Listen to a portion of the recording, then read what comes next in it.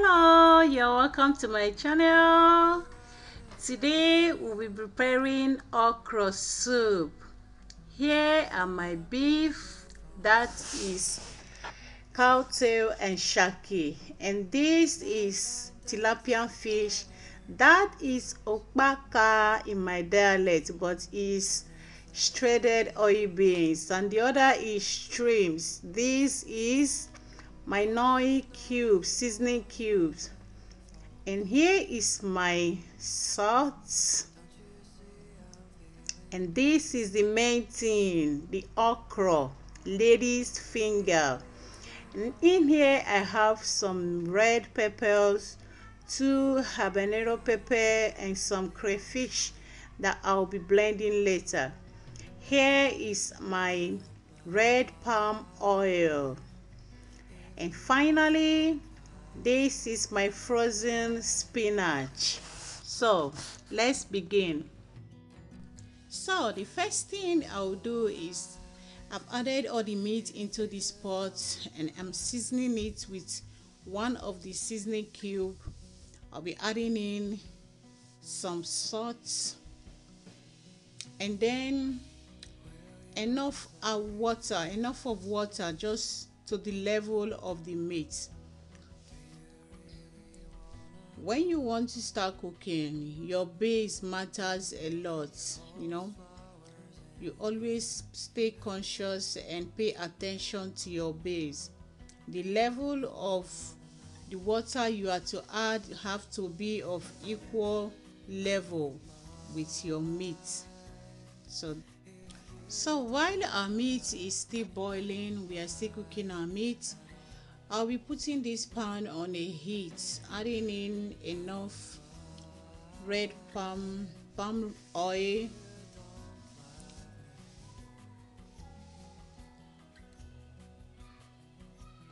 Because i want to okay what i want to do here is basically I want to fry our okra a little.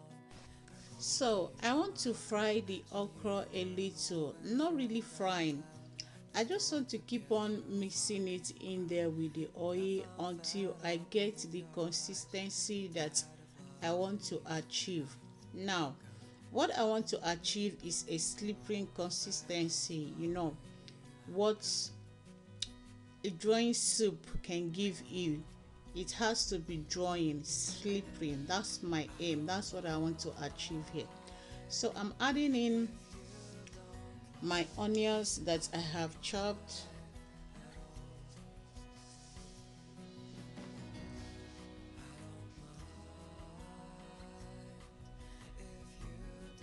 Just stirring it a little and then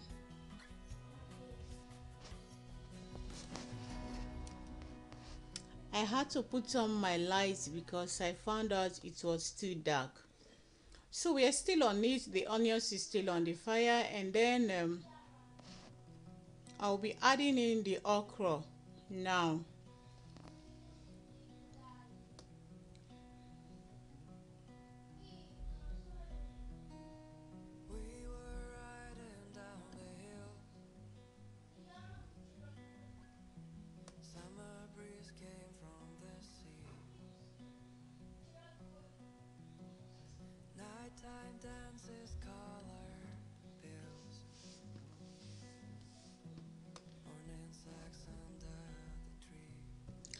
So now that I've added the okra, I'll just keep on stirring it until I achieve what I really want to achieve. You know what I mean if you are familiar with okra soup. If it's not drawing, it's not okra or obolo. So so is the sleeping we are looking at here for? So that's what I want to achieve here. I just go on and keep on stirring it turning it turning it inside there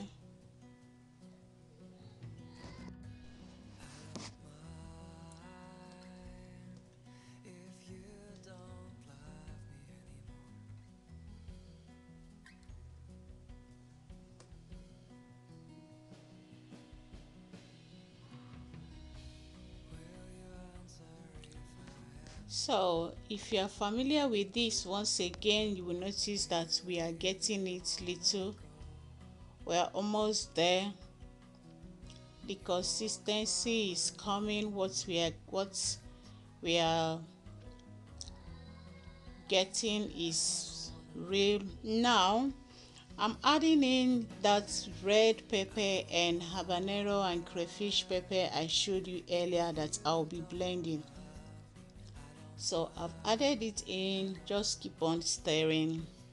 You can see it's beginning to turn out so well. The color and the drawing the liquid consistency is coming around. Now we'll be adding our the strips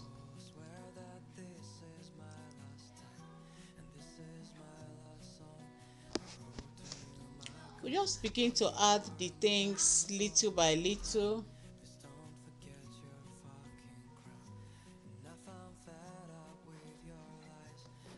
So me achieving this slippery consistency this drawing this it took me about six to seven minutes before I could achieve it. So I think it depends all on the quantity of the okra that you use for your soup.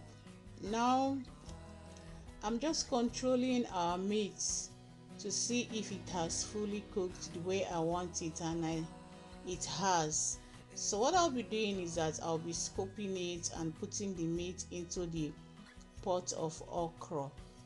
Now I could have poured it all into it but due to that we still have spinach and you know that spinach contains a lot of water so I am taking my time and gauging and targeting it properly because I wouldn't want this soup to come out watering. So I prefer adding it little by little.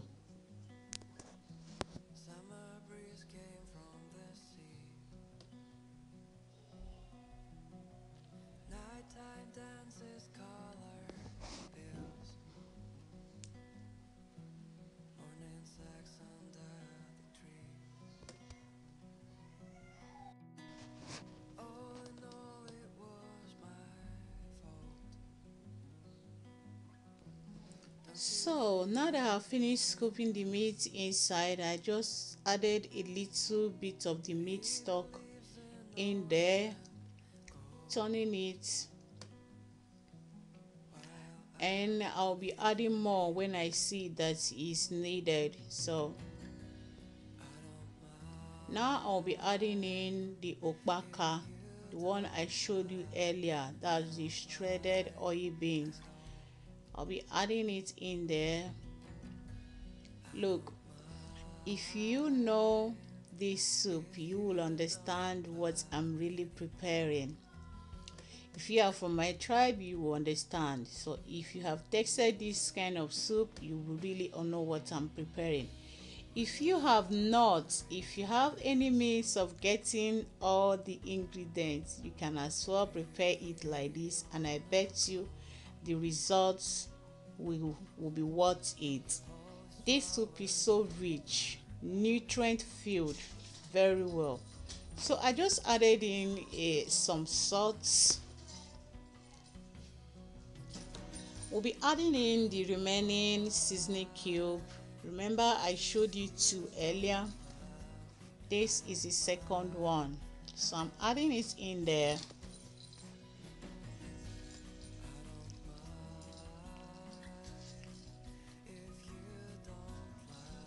and then I'll just turn it around turn it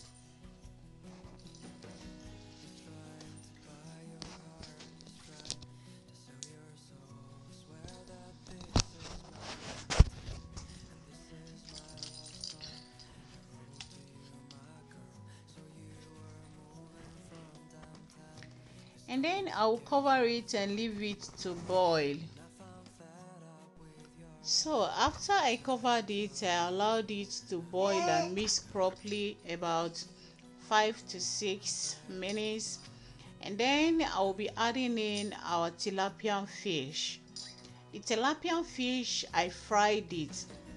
If you know tilapia fish you will know very well that it has a lot of bones inside it which could be harmful. So it's better fried or grilled. So I fried mine before adding it in here. And then I'm adding in the spinach. If you have watched my other videos where I prepared a soup with spinach you know that I go through some process in spinach trying taking out at least a little of the water in it knowing spinach that it contains a lot of water. And not only that the taste of it we don't really buy it here in my family. So I try as much as I can to take out some of that water in it. So I've added in our reserve meat stock. Remember I left it aside before that if it's needed I'll be adding it. So I just added it in here turning it around and I'll be covering it and leaving it to boil for another two minutes